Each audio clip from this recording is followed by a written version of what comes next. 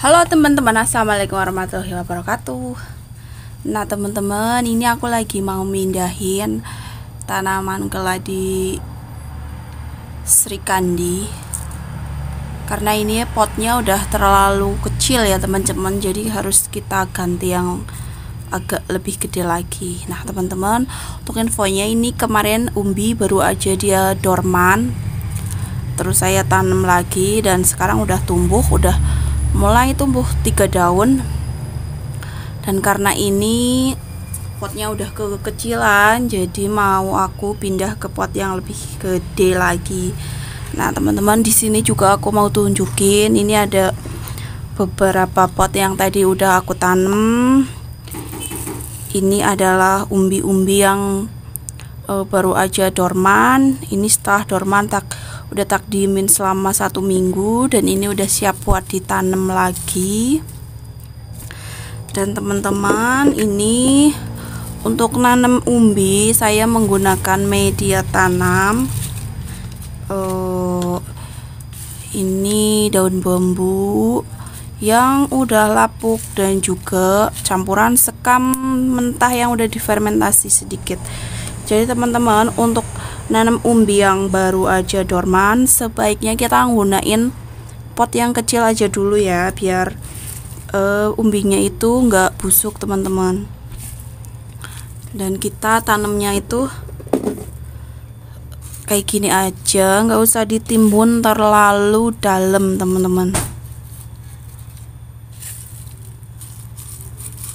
Nah seperti ini aja ini ada umbi-umbi ini redstone. Ini H02 terus ini juga H02.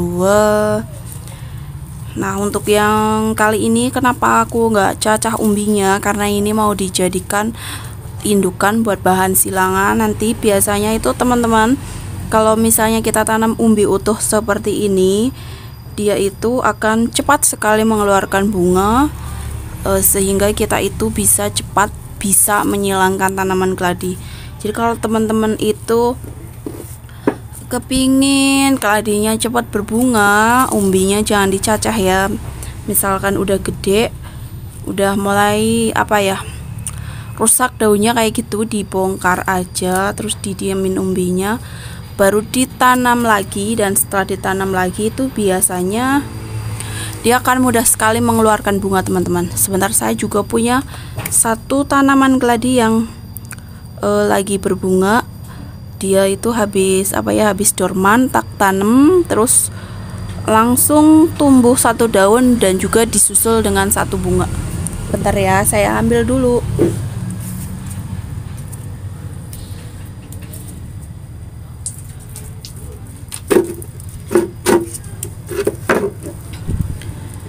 Nah ini dia teman-teman. Ini keladi apa ya namanya? Aku lupa. Pokoknya aku lupa ini namanya keladi apa. Ini dulu saya beli kecil Untuk gambarannya ya Biar teman-teman agak sedikit tahu Gambaran tanam tanaman keladi itu harganya seberapa-berapa. Dulu saya beli kecil semana ya seukuran ini teman-teman. Seukuran ini harganya 200 teman-teman. Dan kemarin dia tuh ini udah sempet cantik rimbun. Terus seperti halnya tanaman keladi pada umumnya dia mengalami siklus. Daunnya mulai rusak. Daunnya mulai rusak mulai jelek. Akhirnya saya bongkar dan saya ambil umbinya. Terus saya tanam kembali dan setelah tumbuh dia mengeluarkan daun yang jauh lebih bagus kayak gini teman-teman. Warnanya full banget keluar banget. Terus disusul dengan satu bunga teman-teman. Jadi kalau teman-teman kepingin tanaman keladinya itu cepat berbunga umbinya jangan dicacah ya teman-teman. Nanti kalau dicacah jadi nunggu lagi lama lagi teman-teman Terus teman-teman aku juga mau tunjukin ini ada umbi keladi jenis maskot. uh, ini juga kemarin habis berbunga. Terus kan kalau habis berbunga itu kan jelek jadi saya bongkar. Terus umbinya tak diamkan dulu baru ditanam lagi. Dan ini udah mulai tumbuh kayak gini teman-teman. Ini dua minggu setelah ditanam seperti ini dua minggu muncul tunas seperti ini ya. Ini juga ini jenis H02 malah ini mengeluarkan tunas banyak banget teman-teman. Ada 1 2 3 4 5 6 7 8 9 banyak banget teman-teman. Jadi ini insya Allah nanti dia akan cepat berbunga teman-teman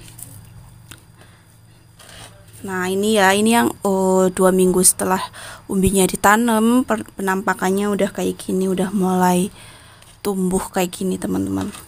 Terus kalau yang yang ini Sri Kandi ini udah saya tanam sekitar satu bulan. Ini potnya udah kekecilan.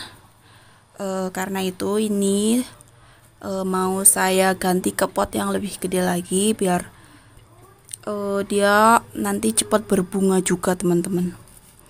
Oh ya teman-teman kalau mengganti pot itu saran saya bertahap ya. Misalnya dari pot yang 7 uh, ukuran 8 itu ganti ke pot yang ukuran 10 dari ukuran 10 ke ukuran 12 jadi bertahap kayak gitu. Jangan langsung misalnya dari pot ukuran segini 10 cm langsung diganti ke pot yang ukuran 20 jangan ya teman-teman. Bertahap aja.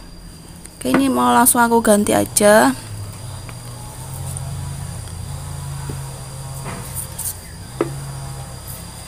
Nah ini dia potnya. Ini mau aku ganti pakai pot ini.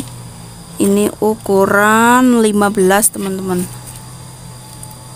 Ukuran 15 cm 15 apa berapa sih? Ya 15 nah teman-teman biasanya ya saya tuh senengnya kayak gini teman-teman. Di bagian bawah bawah ini bawah paling bawah, paling ujung pot ini saya kasih ranting-ranting ranting eh, ranting-ranting bambu kayak gini teman-teman. Aduh uh, tujuannya apa? Tujuannya itu biar sirkulasi udara di dalamnya itu bagus. Jadi akarnya itu tumbuhnya juga akan bagus kalau udara di potnya juga bagus. Ini saya isi dengan ranting-ranting kecil de, uh, ranting bambu kayak gini teman-teman. Jadi kalau di apa ya disiram air gitu kan airnya jadinya langsung berabas ke bawah gitu ya teman-teman. Nggak genang di media tanam. Nah itu yang bagus. Nah kalau misalnya airnya genang di sini itu akan menyebabkan akarnya busuk. Nah teman-teman perhatikan ya. Nih ini juga kan karena saya pakai daun bambu uh, yang motongnya itu nggak kecil-kecil jadi kondisi perakaran di dalam tuh bagus udara di dalam bagus rongga udaranya bagus. Jadinya akarnya tuh bisa bernafas dengan lega teman-teman. Ini langsung dipindah aja kayak gini.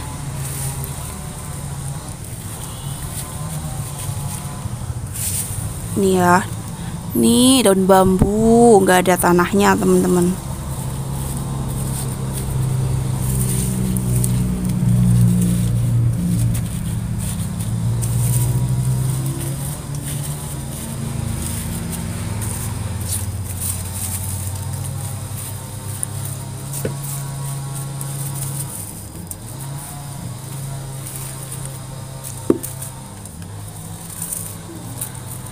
Nih, potongan daun bambunya juga gede-gede kayak gini. Ini tuh bagus. Jadinya tuh e, rongga angin di sini tuh ada anginnya teman-teman di dalam pot. Akarnya tuh jadi bisa bernafas dengan lega. Dan kalau misalnya kita gunain tanah itu kan padat ya teman-teman. Jadi kayak akarnya di dalam itu eh, nggak uh, bisa nafas teman-teman Udah ya, kayak gini aja ya.